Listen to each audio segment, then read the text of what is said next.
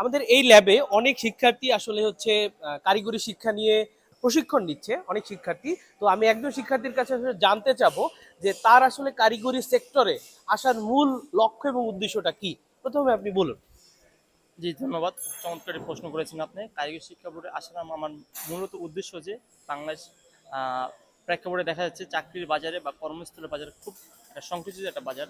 সেখানে আপনার সুদক্ষ স্কিল পার্সনকে একটা জবের খুব ভালো অপরচুনিটি রয়েছে। তো যেটা আপনার জেনারেল শিক্ষা ব্যবস্থা ব্যবস্থাতে খুবই কম।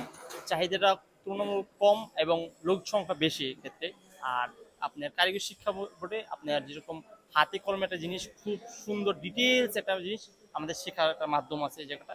আর জায়গাটাতে আপনি কাজ শেখার পরে আপনি দেশে, বিদেশে এবং দেশের বাইরেও আপনার প্রচুর একটা চাহিদা রয়েছে ডিমান্ডটা রয়েছে। এটা শিখলে আপনার লাইফটাকে খুব ইজিলি আপনি সচ্ছল রাখতে পারবেন এবং পারিবারিক আর্থিক বিষয়টা খুব সচ্ছল থাকবে। এর জন্য আমার কারিগরি শিক্ষা বোর্ডে পড়াশোনাটা খুব ইম্পর্টেন্ট গুরুত্বপূর্ণ ধন্যবাদ।